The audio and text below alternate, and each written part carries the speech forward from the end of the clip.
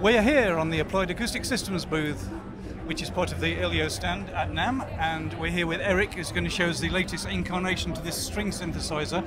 Of course, it's not a, a synthesizer that synthesizes conventional string sounds, it's actually based on the modeling of an excited string, I believe. True.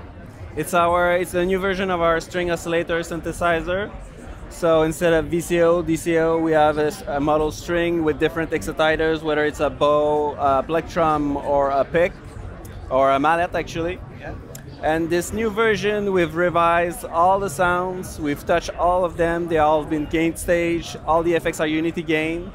We've added a second layer of the synth engine, so you have two, two synths now that you can play different sounds, and an extra layer of effects at the end. Further to that, we've added a second modulator that you can affect the timbre of the sound.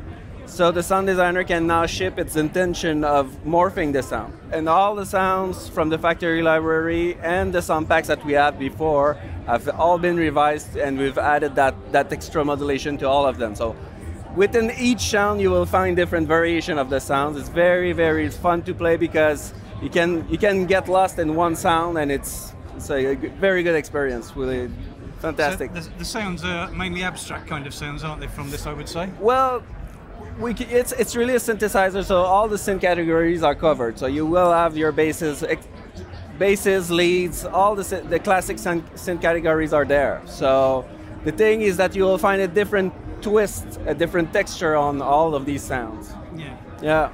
Well, I've tried the earlier version and I was very impressed. So I'm looking forward to trying this. Perfect. Thanks, Eric. You're welcome. Do you want to play a few notes for us? Sure, sure, sure.